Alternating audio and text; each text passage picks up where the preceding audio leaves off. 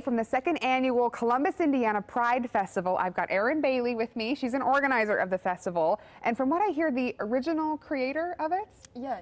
Where did the idea come for then to have it in Columbus and, and to pull it off in such a way? I'm from Columbus. So last year I was a senior at uh, Columbus Signature Academy. And so we have to do a senior project in order to graduate.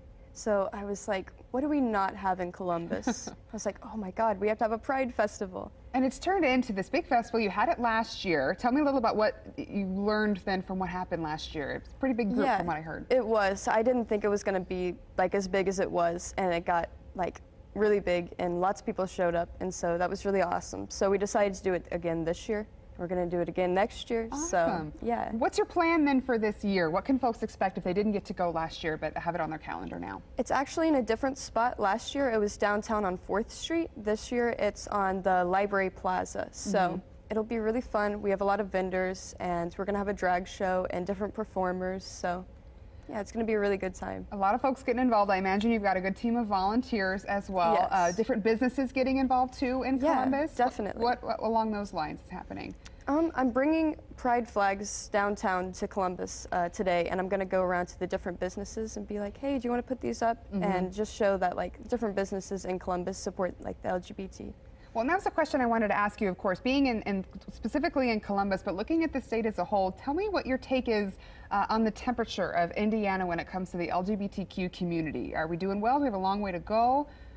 Um, I think we're getting there. It's being more progressive, but definitely not like as good as it could be. Mm -hmm. Back in 2000, I think it was a lot different than it is now, but mm -hmm. just through um, people being more open-minded and realizing that everyone's human just really helps. Opposition-wise to this festival, you haven't had too many big hurdles then? No, definitely not. Especially as it gets bigger and bigger, I imagine yeah. that you're making a bigger footprint on the city uh, and hoping to make an impact. Then that, that's the question that I have, of course, is what goal do you have for this festival in the long run? I just want to, to be able to make people know that um, even though we are in Indiana and it's typically a more conservative state, that they're still welcome. So even if it just affects like a few people and a few people come, like at least it's impacted them. That sounds great. You mentioned a drag show. You mentioned a couple of vendors there. Uh, is it an all-day thing, all afternoon? It goes till 4, so 12 to 4. Okay.